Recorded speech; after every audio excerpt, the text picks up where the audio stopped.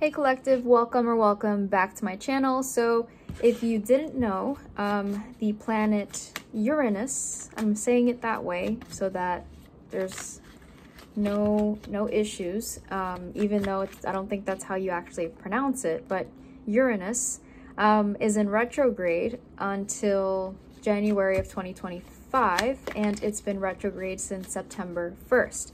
And the planet is really the kind of planet that instills this need and desire for freedom and independence. It goes against the traditional. It's a little bit of a rebellious sort of planet. So it brings out a lot of that um, kind of just you know, it brings that side of us that just makes us sometimes want to break the rules, right? And right now it is retrograde in the sign of Taurus. And Taurus is the opposite of everything I just said.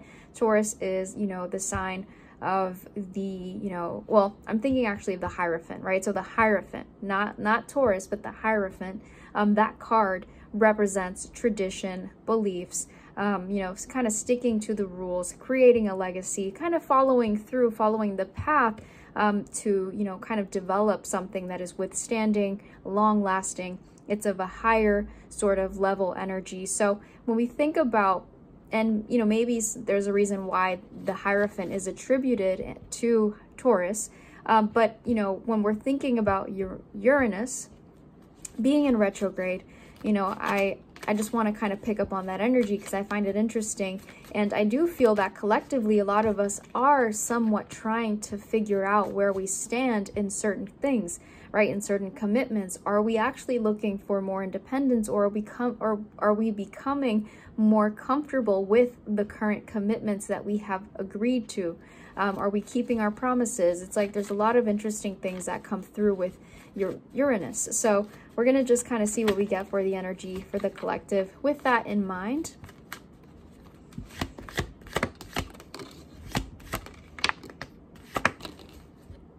three of cups and that's also something else is with that energy, it's like how we connect to others, what we believe is also going to be influenced by that retrograde energy, right? We may not be so um, interested in going with the flow of what society says. We may not be so easily convinced or, you know, manipulated to believe everything that is spread as the truth. You know, so I feel like this is also a reminder to not take everything that you hear as truth and as fact. Always do your own research, always do your own investigating because there's going to be a lot of misinformation in in general for a very long time. There's going to be just a lot of misinformation and that is going to kind of keep us on our toes when it comes to what we should retain and what we should ignore.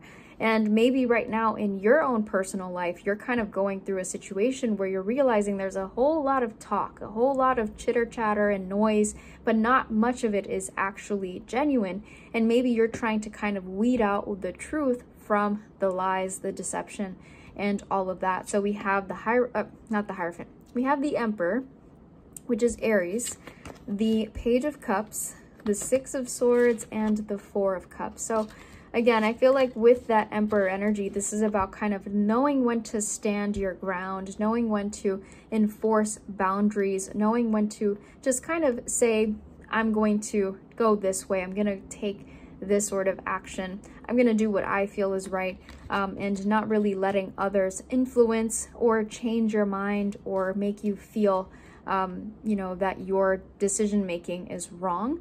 Um, and I feel like with the Four of Cups, some of you are in the middle of trying to make a very important decision in your life.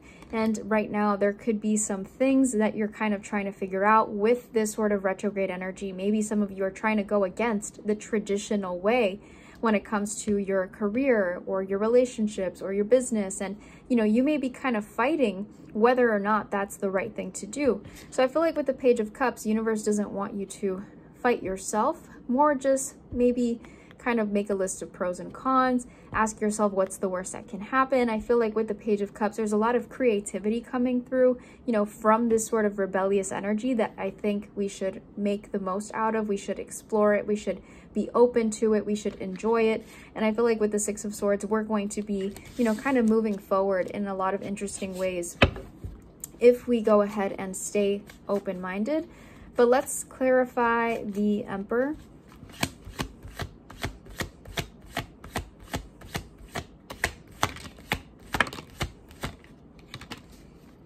Five of Cups.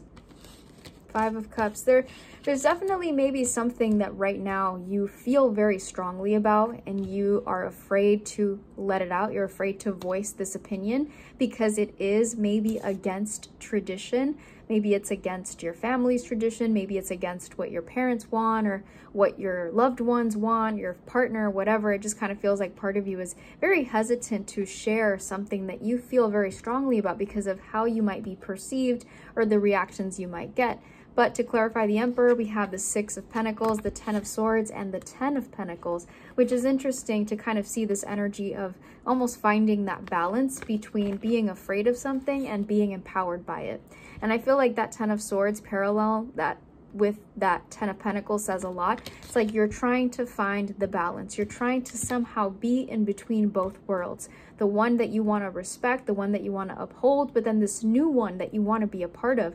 So some of you could be kind of going through, you know, this sort of transition in your life where it's like you really are excited about, you know, embracing some something new something maybe out of the norm something norm something maybe out of the norm for you specifically right? Um but it's like that ten of swords is like there's a lot of fear there. There's a little bit of you know this worry about what's going to happen. Um but at the same time i feel like that ten of swords could also be maybe you um kind of recognizing that if you don't go for it or if you don't give yourself a chance, then you might have some regrets. So it just kind of depends on, you know, your unique situation. But let's go ahead and clarify the Four of Cups.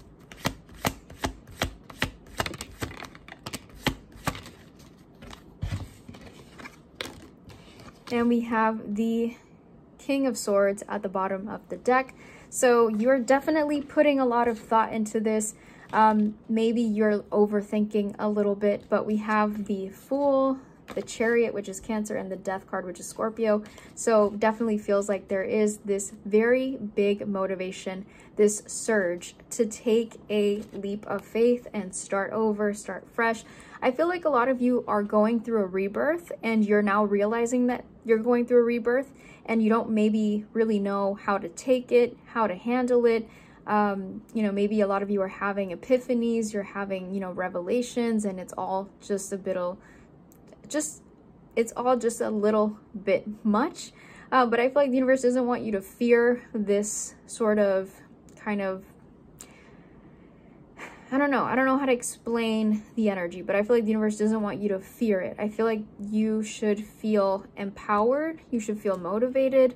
Um, and again, a lot of you are kind of taking this as a sign to do something really big, to do something life-changing, to go for something, to go for your dreams. I feel like a lot of you are pursuing your dreams no matter what.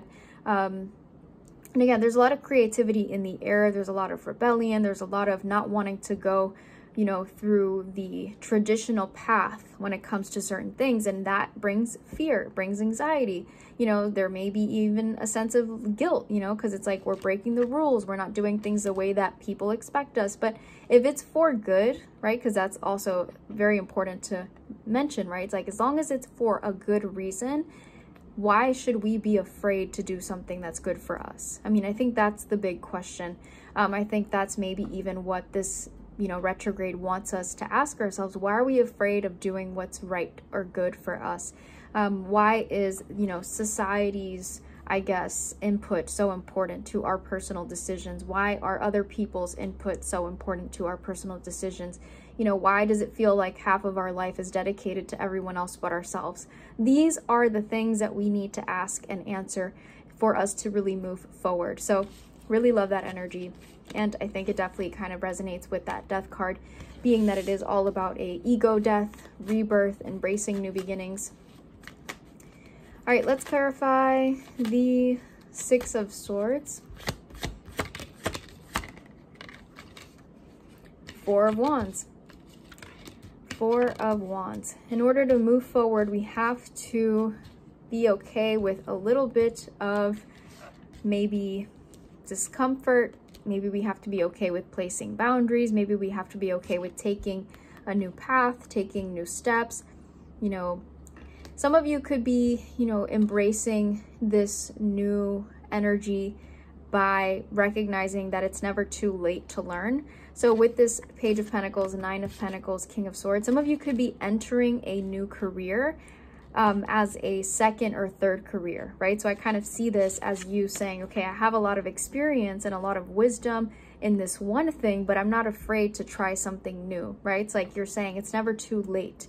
Um, you're never too old to learn. It's never too late to try something new. Or I don't know, I kind of feel like with this King of Swords, he's really kind of seeing this as a challenge for himself to try something that that that has the potential to make him happy regardless of what it looks like right? It's like we have to kind of forget about what something looks like and focus more on how it feels. So if it brings a sense of satisfaction if it brings a sense of meaning and purpose to life then why not take that chance? Why not go for it? Why not get started? I feel like the Six of Swords right now, specifically for the context of this reading, is saying time is going to pass anyway, so why not do it or why not pass it doing something you love, doing something you enjoy, right? No matter what it looks like. So really love this for you. Hope you take it all in. And if you like this reading and it resonated, please give it a like, please subscribe, and I will see you in the next one.